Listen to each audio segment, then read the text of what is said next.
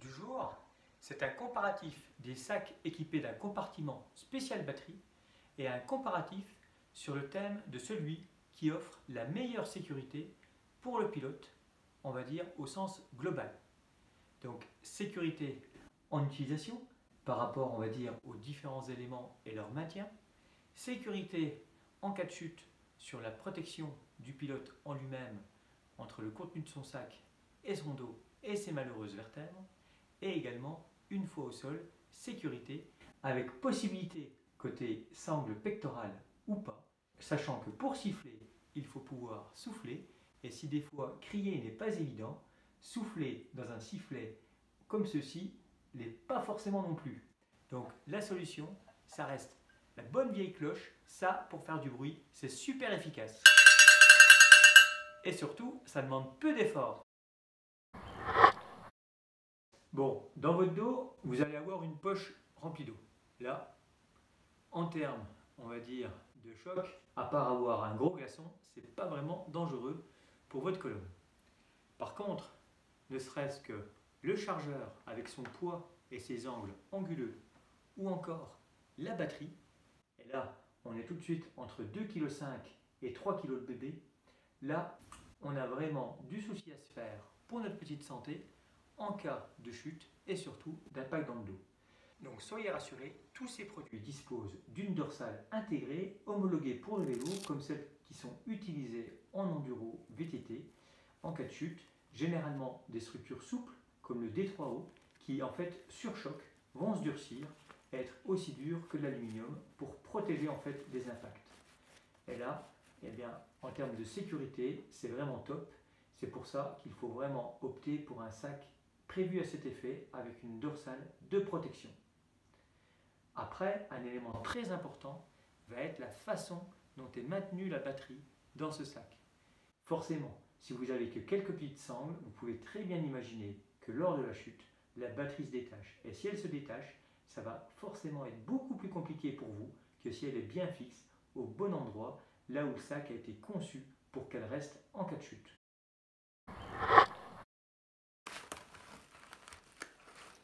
C'est tellement bien fixé que quand on veut l'enlever, on galère. Mais au moins, ça tient.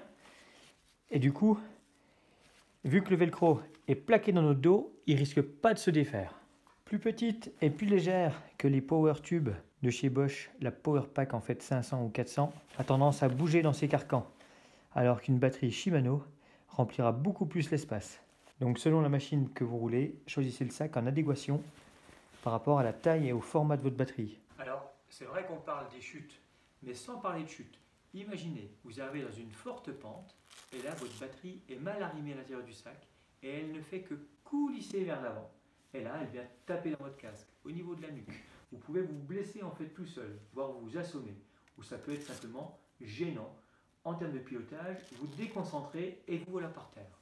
Donc en fait, une batterie bien arrimée participe à la sécurité générale lorsqu'on roule. Ça, c'est vraiment important d'en prendre conscience et de choisir son sac en conséquence. Alors bien sûr, hein, c'est comme tout, si vous avez le meilleur casque du monde mais que vous n'accrochez pas la jugulaire, ça ne sert pas à grand chose. Donc si vous avez le meilleur sac mais que la batterie, vous ne prenez pas le temps et le soin de la fixer correctement à l'intérieur du sac, ça ne sert à rien. Soyez toujours, on va dire, professionnel, vigilant et surtout roulez avec toutes les chances de votre côté. Pour tester si la batterie tient correctement dans le sac, c'est pas compliqué fixez-la correctement, retournez le sac, secouez. Si celle-ci est toujours en place lorsque vous ouvrez, c'est que c'est bon, elle ne viendra pas chahuter votre nuque dans les descentes pentues. Alors, je ne suis pas tombé et on va tester les sifflets.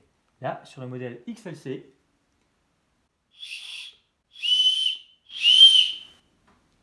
ça va, c'est correct. Sur le modèle Ergon, eh bien, ne cherchez pas, il n'y en a pas. Donc là, eh bien, à vous de prendre votre propre sifflet d'arbitre, pas le choix. Bon, rouler en évoque, c'est quand même la grande classe.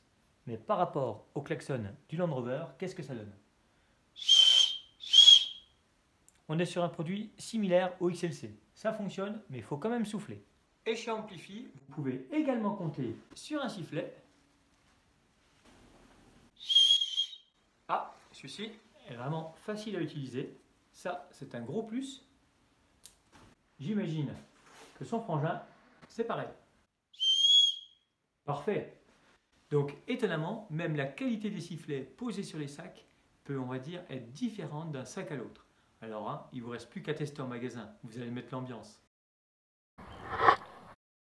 Et oui, pour moi, c'est également un élément de sécurité.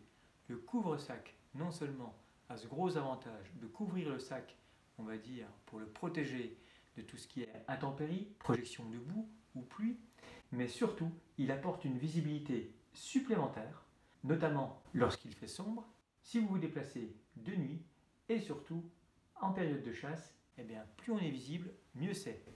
Donc avec le sifflet, vous sifflez tous les 10 mètres, vous mettez bien le couvre-sac et là, vous êtes au top. Chez Amplify, ils ont le souci du détail avec ce petit clips pour éviter de perdre la housse avec la vitesse. Bien vu. Parmi les autres marques, seul le Evoque dispose également d'une sangle de sécurité pour ne pas perdre la housse.